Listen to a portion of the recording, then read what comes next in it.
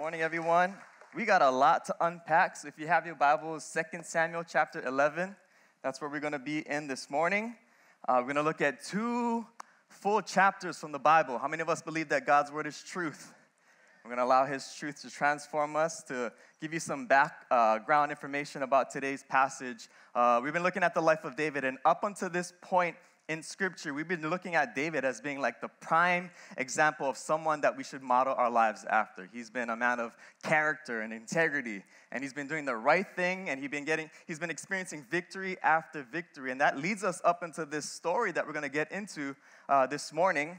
And uh, another passage of scripture that's not in your notes, but it'll be up on screen. It says this in Proverbs 16, uh, 18. In the message translation, it says this First pride, then the crash the bigger the eagle, the harder the fall. The bigger the eagle, the harder the fall. And I think this passage of scripture kind of gives us a premise or sets the scene for the story that we're going to uh, look at this morning. So if you have your Bibles, 2 Samuel chapter 11, verse 1 says this In the springtime, at the time when uh, kings go off to war, David sent out Joab with his king's men and the whole Israelite army. They destroyed the Ammonites and besieged Rabbah, but David remained in Jerusalem. That's a key uh, detail in this story. Verse number two. One evening, David got up from his bed and walked around on the roof of the palace. So, David's um, palace was literally on the hill, and he could oversee the city, kind of like Pastor Billy's house on the hills of Kalihi. That's why I live on the low plains of Kapolei. I don't want any shenanigans happening in my life. So from the roof, he saw a woman bathing. The woman was very beautiful, and David sent someone to find out about her. The man said, She's Bathsheba. Bathsheba taking a bath, the irony. Didn't, all right, okay? The daughter Eliam and the wife of Uriah the Hittite. Then David sent messengers to get her. She came to him, and he slept with her. Now, she was purifying herself from her monthly uncleanness, and this is an important time, uh, timestamp that we need to understand here. It's letting us know two important details. One, the, the child that's conceived or is about to be conceived is not the husband's, okay? And the second thing is, uh, Bathsheba was actually uh, at a time where she's not fertile. And so there are two details that kind of gives us a picture of what's going to happen in this story continues on, it says this uh, Then she went back home, verse 5. The woman conceived and sent word to David saying, I am pregnant. I want to share a message to us this morning from the premise how to fall from greatness. Okay, a little different because up until this point, we're talking about how to be great and how God has greatness in all of our lives. And we're going to look at it from a different point of view. How can we fall from the greatness that God has for us. We're going to allow God's word to speak to us. So let's pray this morning. God, we thank you so much that your word is truth. And Lord, I pray that you would uh, allow this word to come out in the same way that you put it into my heart, Lord. I pray that this word would set people free, that your truth, Lord, would work in such a way that would bring internal transformation, God, that we will leave here better than when we came. God, we pray that you would speak to us in a real, tangible way to give us eyes to see, ears to hear, and a heart that is soft, open, and receptive for everything that you want to deposit into us today. We thank you for your word. In your name we pray. Amen and amen. How to fall from greatness. I grew up in the late 1900s. It's true. How many of us know that we, we are dated now? I'm a 90s kid, and one of the things that marked our generation is that we were known for playing outside. How many of us remember playing outside? I grew up in a time before cell phones, before even video games. We played outside. And how many of us know you can get into a lot of shenanigans outside? No rules for the most part, but there was one rule that many of us know that as kids, when you're playing outside, you needed to be home at a certain time. And there was a landmark that will let you know the time that you needed to be home. Everybody remember that landmark? When the street lights come on. As soon as the street lights come on, you needed to be in the house. If not, you're gonna get lickings. And I think lickings is good. How many of us appreciate spanking? All the parents say amen. I'm an advocate for making spanking great again. Let's do that. Let's make that a mantra. Make spanking great again. All right. Timeout doesn't change any kid. Only spankings does. But, anyways, uh, on this one particular day, we're hanging out with our friends, hanging out outside, and there's always one kid in the group that always has the most brilliant idea to do something stupid and encourages everybody else to do it. So, one of the neighbors' uh, sons uh, actually said, Hey, let's ride down the hill on our skateboards. And uh, me being a little smart at the time, I assessed the situation and I already knew internally this is not a good plan. So I'm trying to tell everybody, I don't know if we should do this, but the guy would just, the loudest sometimes trumps everybody else. He's like, come on, let's do it. And so I'm watching this thing unfold, and I already knew it was a bad plan because one, the skateboard was super wobbly, and the hill was pretty steep, and I'm just like adding things up. The math don't add up. But everybody else was all for it, and so I sat back and watched the story unfolds. So my brother gets on the skateboard with a friend, and another friend starts pushing them down the hill. And they're going, like flying down the hill. And you know what happens? The speed wobbles start kicking in, right? You know the speed wobbles, right? Speed wobbles start happening, and soon as you, uh, before you know it, boom, they both fly off the skateboard and come to a screeching halt. We run up to them to see what happened. I look and see my brother has road rash all on the side of his leg to the point where you see the white, you know? And I just knew that was not a smart thing. I learned an important lesson that day to lean into those internal intuitions. I knew this wasn't good. And something inside of me told me, nah, you shouldn't go down that path. And I didn't. My brother did. And I learned an important lesson that has marked my life to this day. How many of us know that God's word gives us a lot of important lessons? God's word is filled with a lot of wisdom. The Bible describes wisdom as a way for us to live our lives. And how many of us know that there are two ways that you can learn wisdom? The first way is a difficult way. You can learn from personal experience, where you learn the hard way. How many of us have had that lesson? The hard knocks of life teach you some important truths of what not to do. But there's a better way to learn wisdom, and it's through the experiences of other people. That you don't have to go down that route. You can actually learn from other people's lives what not to do and still walk in the path that God has for us. God's word gives us wisdom in two ways. It gives us wisdom to the point where it shows us people on what we should do with our lives. It gives us wisdom on how we should live, but it also gives us wisdom on what not to do. Today, we're going to look at what we shouldn't be doing with our lives. We're going to look at the life of David and learn some important lessons from the mistake that he made that allowed him to fall from greatness. And one thing that I want us to know as we're looking at how to fall from greatness is this here's the truth no one is immune to sin or temptation. All of us have a bent towards sin, and if we're not careful, we can easily fall into sin. But here's the other truth all sin starts small. It's usually a combination of choices after choices that compound over time that lead to big consequences. It's a person that makes a series of decisions that will lead them down a destructive path. And it's the little compromises that lead to big consequences. And so no one intentionally wants to ruin their life. Nobody was like goes up and wakes up every day, I'm going to ruin my life today. No one ever lives life that way, but we never plan not to ruin our lives.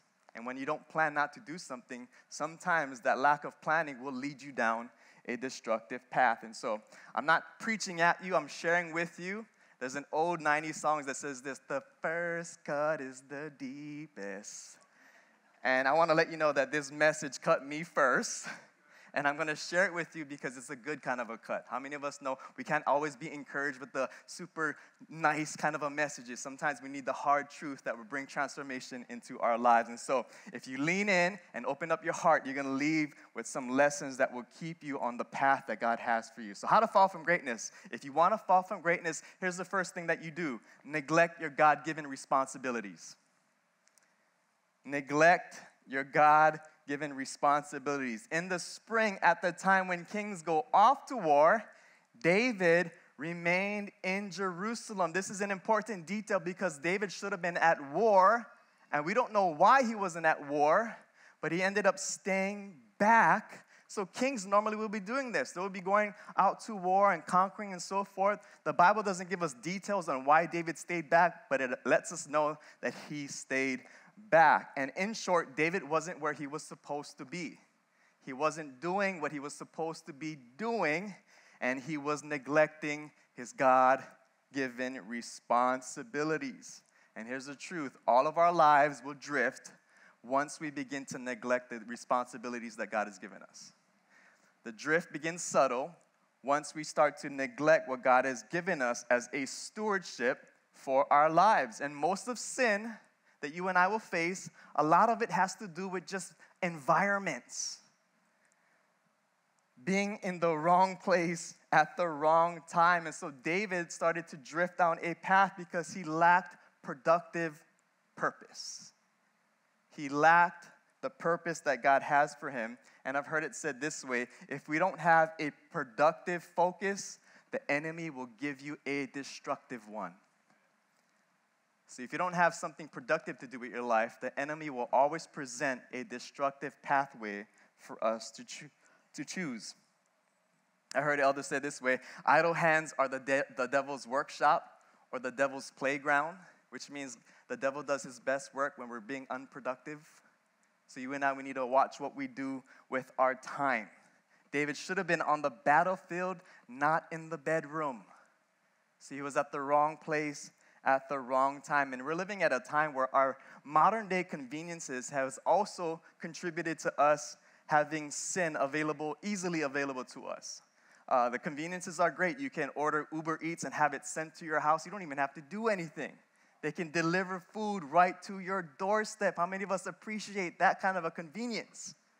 But the downside to convenience is this sin is also easily available to you. One app, one text, one thing from your phone can get you going down a path that is destructive. So, our conveniences sometimes are the greatest sources of our compromise in our lives. I've heard it said this way it's uh, too much leisure is never good for our soul. And I'm all about refreshing, I'm all about vacations. And we see today everybody's trying to get that revenge travel, trying to get it in. We lost two years in COVID, so let's go Disneyland and Vegas and all these things. And great, yeah, get refreshed, but make sure that you're being purposeful with your time because too much leisure is never good for our soul. We need productive purpose. That's why God gives us purpose. And when we neglect the purposes that He has for us, we start to drift away from the life that He has for us. If you want to ruin your life, start to neglect your God given responsibilities. Here's the second thing you want to do if you want to fall from greatness push away the people closest to you. Verse 1 continues and said this David sent out Joab, which was his main uh, army official with the king's men and the whole Israelite army. So these guys helped David get into power, and they were the one that were fighting alongside of him. Any great person doesn't become great on their own. We always have great people around us that help us get there. And so David had these men that were helping him become great, and he started to subconsciously push them away. We don't know if it was intentional or unintentional, but the people closest to him were pushed away, and it left David in a vulnerable position. He was very isolated, and isolation is never good for any of us.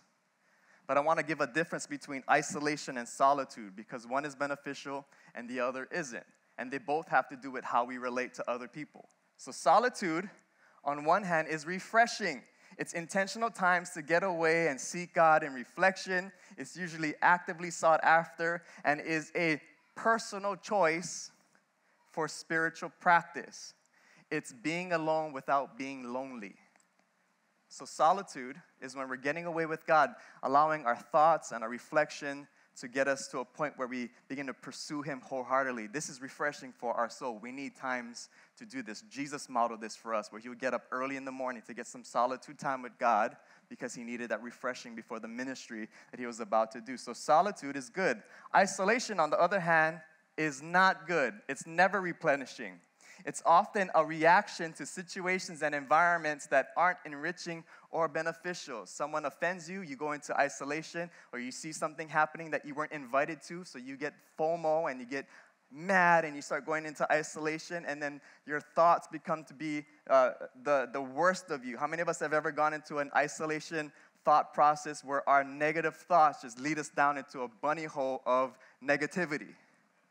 And so, David isolated himself from other people, and isolation cuts you off from God, from others, and sometimes even yourself. It becomes a prison of negativity. And the, the downside to the pandemic that many of us have, have faced is that people were forced into isolation. That's why mental health is on the rise because you were left with your thoughts and you were left sometimes to deal with these thoughts in a destructive way. And people got, got into a lot of negative situations because of the mental health issues that they got themselves into. So David unintentionally pushed away the people close to him, close to him, which left him vulnerable. And we've all seen National Geographic when the lion is on the prowl. How many of us know that the lion doesn't just go after the pack? It's usually watching the pack to see the little Bambi that drifted away from the pack, right? Bambi drifts away, becomes an easy prey. The pack is here, the Bambi's there all alone, and the lion pounces on that prey. Why? Because it was vulnerable, it wasn't around the pack. It left the protection of people.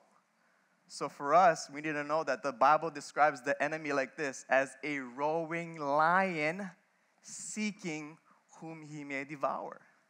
So there's a real enemy out there. He wants to steal, kill, and destroy, and we become easy prey when we drift away from the people closest to us. And that's why David was so vulnerable because the people closest to him who could tell him no was off at war where David should have been himself.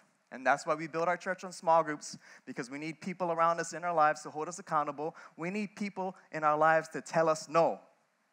We can't surround ourselves with yes men and women all the time. My wife tells me no all the time, and I'm thankful for it because I need the no in my life. How many of us know we need no's? David needed someone to say no in this moment, but the person that would, or the people that would, were pushed away at war. And so, if you want to fall from greatness, isolate yourself from other people, push them away. David didn't sin yet, but he was on a destructive pathway that is going to lead him to the sin. So it was one compromise after another. Third thing that you want to fall to, if you want to fall from greatness is this allow pride and power and pride to lead to entitlement. A sense of entitlement is often the beginning of justifying wrong choices and can lead to this thing called a king syndrome. You know what a king syndrome is? As popularity increases, we begin to follow our own set of rules. The real rules apply to everybody else, but we are the exception. I can do what I want. I'm better than anybody else. Don't tell me what to do. And here's the mantra do as I say, not as I do. Parents, if you want to mess up your kids, do as I say, not as I do. Live by that. So start modeling for them what they shouldn't do and tell them, don't do that. That'll mess up your kids. But here's what we read one evening, David got up from his bed and walked around on the roof of the palace. That's how much time he had. He literally was able to sleep in all day, not productive. From the roof, he saw a woman bathing. Here's what we need to do pay attention to what gets your attention. You got to pay attention to what gets your attention. David's slipped into lust because he looked at something a little too long, so we need to pay attention to what gets our attention. The woman was very beautiful, and David sent someone to find out about her. The man said, She is Bathsheba, the daughter of Eliam, and the wife of Uriah the Hittite. These are two important details because they let us know something. Bathsheba's dad was named Eliam, and he was one of David's warriors.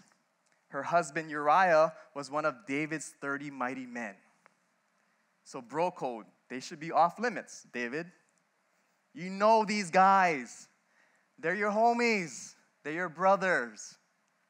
You shouldn't even be considering this. But pride was the beginning of his downfall and allowed him to feel a sense of entitlement. I don't care who's, who that is. I want that for myself. And the servant was trying to give David a warning, but David avoided accountability. And so David should have been conquering, his enemies. Instead, he had that same desire to conquer something. He perverted it from conquering enemies to wanting to conquer this woman. We all have a God given desire in us that allows us to walk out the passion and the purposes that God has for us, but we can also pervert that to go down a negative pathway, and that's exactly what David did. So, verse 2 to 4 it says this Then David sent messengers to get her. She came to him, and he slept with her. All the little compromises compounded up until this moment which led to David's downfall. Instead of chasing after God, he was chasing after his desires. That's why we can never be led by our heart, because sometimes our heart is deceitful, the Bible says. And David made the mistake. And one moment of weakness wrecked David's life. But he probably felt entitled. I'm the king. Don't tell me what to do. I can do whatever I want to do.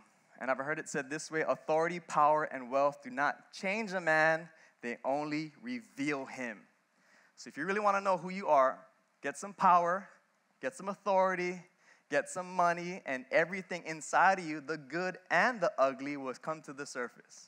You're going to get to see who a person really is once they have authority, power, and wealth. And here's the truth that we can learn from David corruption begins when contentment ends.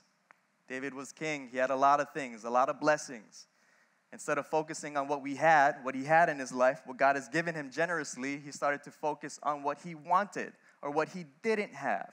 And for us, if we want to go down a slippery path of destructive thinking, start to compare your life with other people.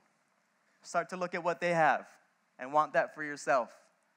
Start to be envious and jealous of where other people are going with their time and what they're doing with their uh, resources and so forth. And you're going to find yourself slipping into discontentment, which will eventually lead to destructive activities in our lives. So, if you want to fall from greatness, allow pride and power to lead to a sense of entitlement.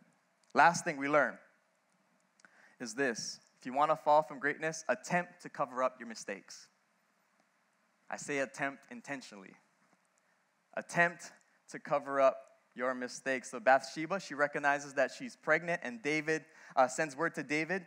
David immediately begins to develop a cover up plan.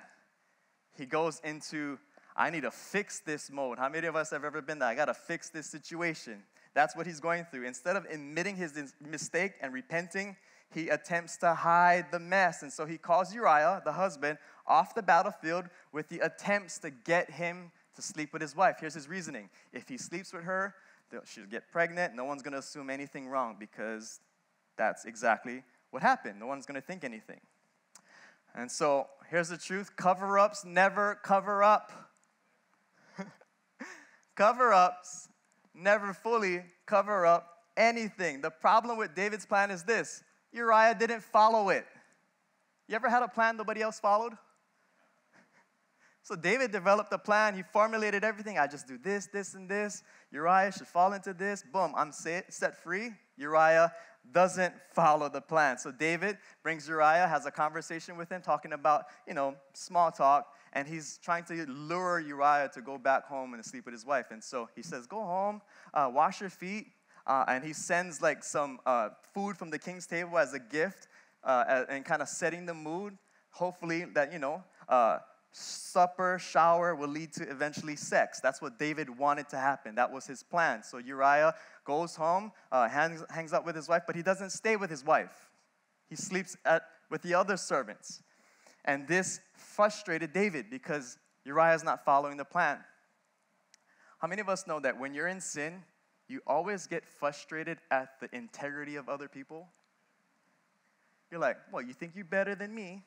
You're more holy really what that's revealing is our sinfulness in our lives. And we're looking at that as saying that I need to be like that. So we start getting mad at the people who are doing the right thing. And that's exactly what David starts to do. So he goes into plan B. All right, maybe I need to get him drunk. So he gets uh, Uriah wasted, hopefully wanting to loosen up his moral convictions. Uriah gets a little drunk and still doesn't go home to sleep with his wife. He had a mad, he had integrity in his heart.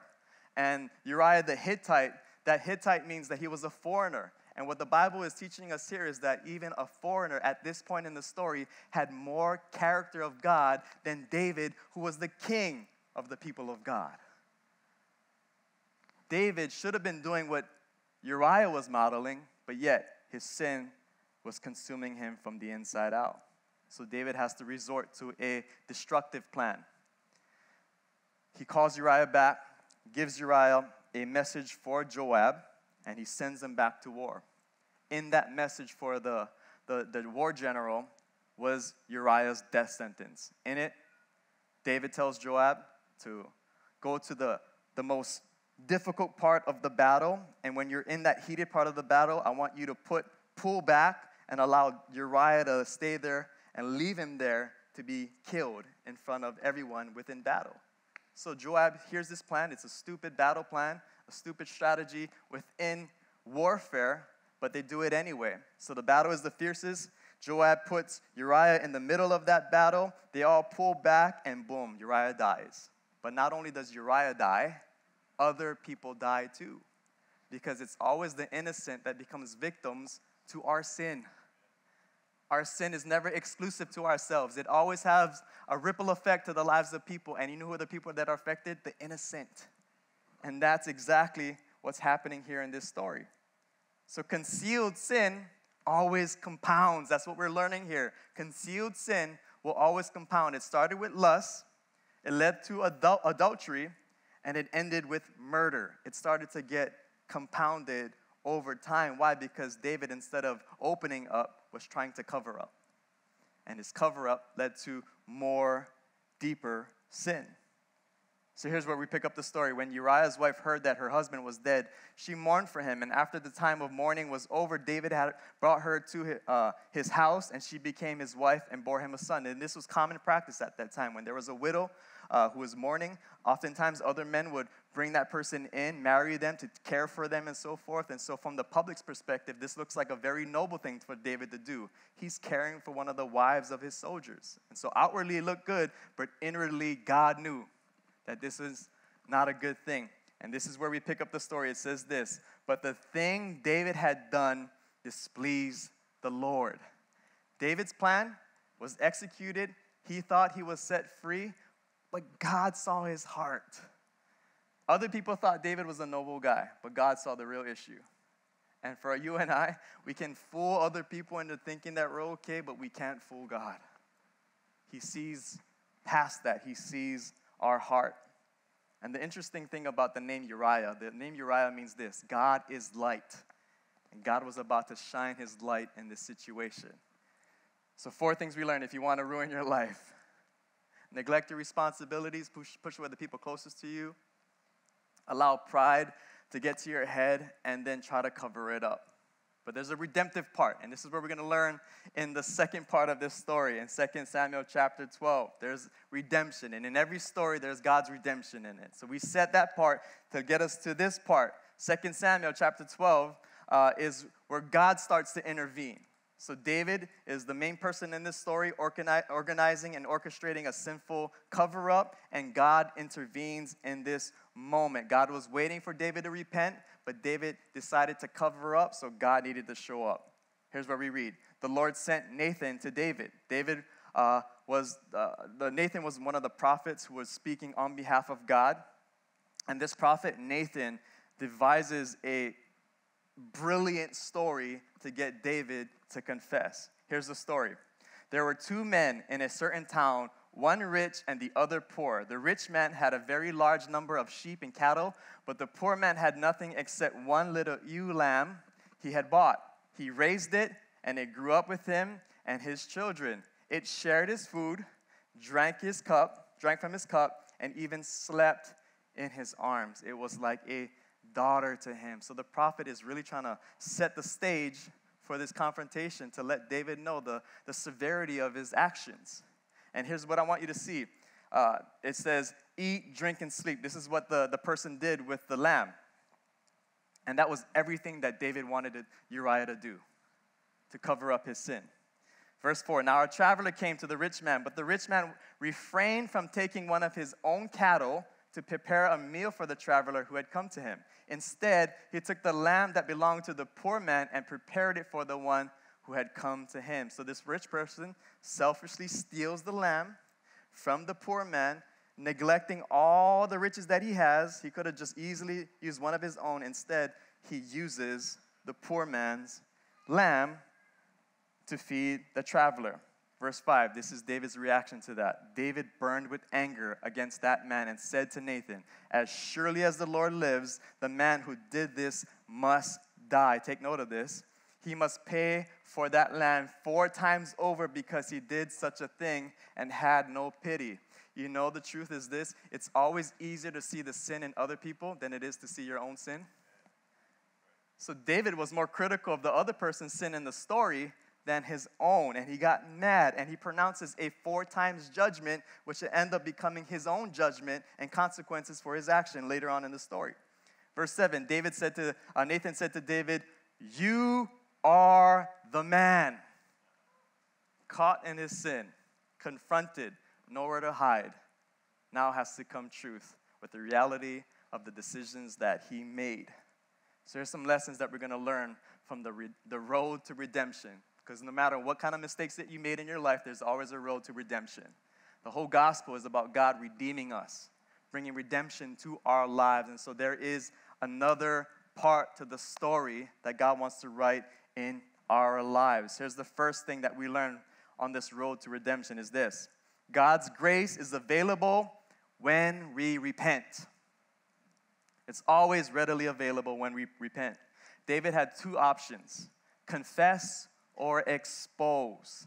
And when it comes to sin, when we're followers of Christ, we have two options either confess or wait and allow God to expose us. And these are both part of God's grace. Sin separates us from Him, and so God wants to be reconnected with us, but because we're in sin, He can't.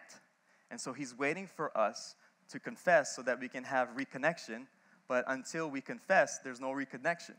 So He'll wait patiently but if we wait too long, He's going to expose with the purpose of reconnecting with us, not to shame us, because He desperately longs to be connected with us in our lives. And He can't unless we confess our sins. So He gives us opportunity and after opportunity to come clean. Verse 13, uh, David said to Nathan, I have sinned. So he finally comes to a place of repentance. Then Nathan replied, The Lord has taken away your sin. You are not going to die. So, in this moment, David admitted his sin, admitted his guilt, and recognized that the main person that he offended was God. And anytime we sin, the main person that we offend is God Himself. He didn't make excuses, He didn't point blame, He didn't make some sort of plan to try to get himself out of the situation. He just came clean, he admitted his shortcomings, and accepted what was going to come, the consequences. And when he did this, here's what happens he was immediately met with grace and forgiveness. God forgave him in this moment. And what this forgiveness looked like was this in the Old Testament law, murderers and adulterers were supposed to be killed. David was supposed to die because of his sin. But here's what he was met with mercy and grace. He, God spared his life, and his throne wasn't taken away from him. He was still able to be king. So, in that moment, God expressed mercy and grace upon the heart and the life of David. The second thing that we see is this God reconciles David to himself. The status in the relationship was changed because of David's sin. There was a gap now, and anytime we sin, there's always a gap between us and the person that we offend. What God wanted to do was bridge that gap. And as soon as David repented, God reconciled or changed the status of the relationship and brought unity where there was once division because of sin. So God temporarily forgave David and would ultimately put that burden of sin upon his son Jesus 2,000 years later on the cross, dying for our sin. So here's what we see. What made David a man of after God's own heart wasn't that he was a perfect man, is that in his imperfection, he came clean before God. He admitted his sin. And that's what God is waiting for us. Not that we get it all perfect, but when we make mistakes, because we will, our response to our sin it should be one of repentance, coming before the feet of God and asking Him to forgive us. And when we do that, the Bible says He is faithful and just to forgive us and cleanse us of all unrighteousness. So pride ruined David's life, but it was his humility that got him back on the road to redemption. And humility is what God is always after.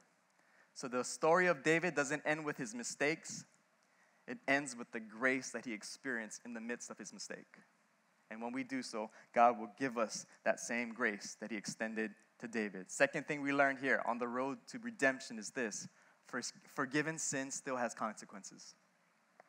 David was forgiven, but he still needed to face the consequences. And I want you to read and hear some of the consequences that were severe. The sword The sword will never depart from your house. Out of your own household, I'm going to bring calamity on you. Before your very eyes, I will take your wives and give them to the one who is close to you, and he will sleep with your wives in broad daylight. You did it in secret, but I will do this thing in broad daylight before all Israel. Then it continues on to say this The son born to you, the one that was conceived in sin, had to die. So remember, David pronounced a four times judgment that judgment was what he reaped as the consequences for his action. Here's what we see the child that was conceived had to die, the child eventually got sick and died. And it's this innocent that always are a victim of our sins. His son Amnon would rape his half sister Tamar later on in the story and be killed by his own brother in revenge. So there's death and sword in the household. His son Absalom would sleep with David's wives on the rooftop in front of everybody to see. And uh, later, uh, he would try to overtake David to become king and be killed by Joab in that attempt to, to take the throne. And the fourth uh, devastation was his son uh, Adonijah would attempt to grab the throne and be killed by another brother. So here's the lesson for us the sins of the father is always reproduced in the children. You and I, we inherited the sins and the mistakes of the people who've gone before us, and what we pass down to our kids and the kids after us and sometimes the mistakes that we made in our lives. The sins oftentimes are reproduced in the children. So the ripple effect of David's mistake was generational. I want you to know that. That our mistakes aren't always exclusive to us, it has a ripple effect. God wouldn't stop David's promises, but he had to face the consequences of his action. He needed to face some of the penalties. So many of us today, we take sin far too lightly and we're thinking, no, it's just all about God's grace. And we look at the story of David and God doesn't deal lightly with sin. And it should be a reminder for us that we should have a severity or a, a, a, a reverence to God in our lives. I remember uh, uh, a friend of mine, uh, before he got saved, he was involved with uh, selling drugs and eventually dipped into using, using drugs, and it became a destructive lifestyle uh, where he was just going down a destructive path. And one night, he just was fed up and he prayed because he had some sort of history with God in his life up until this point. and he prayed God to forgive him, but also to set him free from that addiction that he had. And you know how God answered that prayer? You know how God answered that prayer? The next day, the cops busted him, and he was in prison, and he spent some time in prison. But while he was in prison, although he was physically in jail, he was spiritually free. He didn't have the guilt, he didn't have the shame, he didn't have the condemnation of his actions. He was finally free in his heart. And some of us here today, we're physically free, but we're spiritually and emotionally in bondage for some of the things that we've done in our lives. God's not trying to beat you up, but He wants to set you free from that. And sometimes the pathway to being free is repentance, allowing God, coming clean before God, and allowing His word to change us from the inside out. So here's the truth for all of us the consequences of sin doesn't have to be the conclusion to your story. Just because you made a mistake doesn't mean that's the end of your story. God still wants to use our lives, even our mistakes, for His glory. Last thing, as the worship team comes out, God can bring good out of our mistakes. That's the lesson that I want all of us to leave within our mind. God can bring good out of our mistakes. The story goes on to say David comforted his wife Bathsheba, and he went on to uh, he went to her and made love to her. She be, uh, gave birth to a son, and they named him Solomon. The Lord loved him, and because the Lord loved him, he sent word through Nathan the prophet to name him Jedediah. So the meaning of the word Solomon is this: peace. And why is that important? Because for the first time in David's life, after the sin, he finally felt at peace with God. There was that reconnection. The sin no longer separated him, but he was at one with God. And being at one with God is this peace that God wants us all to experience. And so David was at peace, but God wanted to one up David. So God sent word to Nathan the prophet to change the name of the son from Solomon to Jedediah. You know what Jedediah means? Beloved by God or loved by God. So God wanted to make sure that David was reminded that even though he made a mistake, that he was still loved by God. That his mistake no longer defined him, but the love of God now defines David. And the same thing applies to us in our lives, no matter what you've done. When we come before God and we repent, it's not our sin that's going to define us, it's His love that will be the marking point of our lives. So, anytime you feel con- condemned or shamed, just remind yourself that you are loved by God. And God wanted David to have that imprinted on his soul, that he would never forget the love that God has for him. We all make mistakes, but we don't have to be defined by our mistakes. By our mistakes.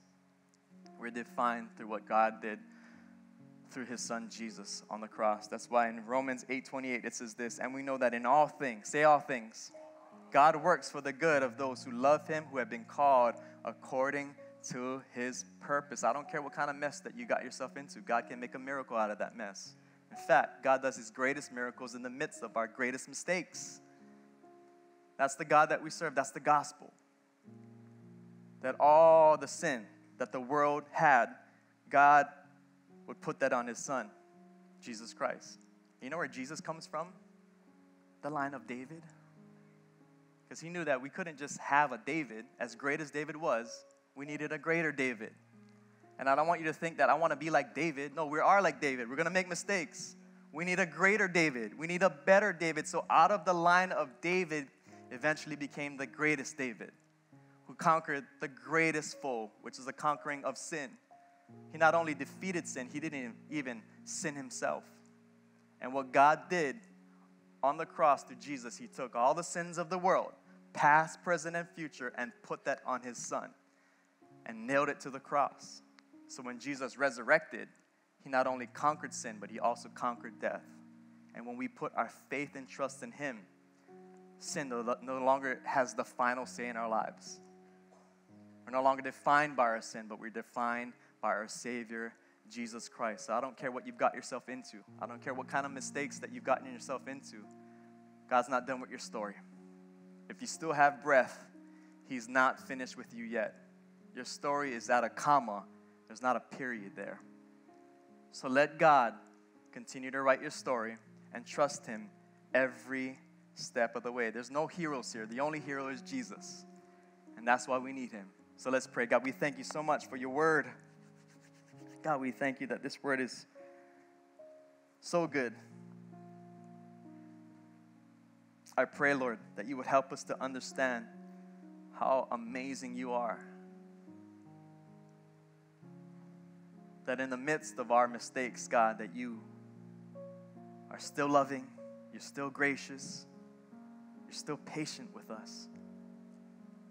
And Lord, we thank you, Lord, that your grace doesn't only forgive us, but it empowers us to overcome sin. And I pray that you would unleash grace in a real, tangible way for us this morning so that we can walk out and be the men and women that you're calling us to be. So, in this moment right now, God, I pray that you would do an inward work in all of our hearts, God. For those of us who have drifted away or maybe have allowed sin to get us down a compromising path, I pray that repentance will be the fruit of today and a restoration, God, to be reconnected back to you and have that peace that David experienced of allowing you to forgive our sins. In Jesus' name we pray. Amen and amen.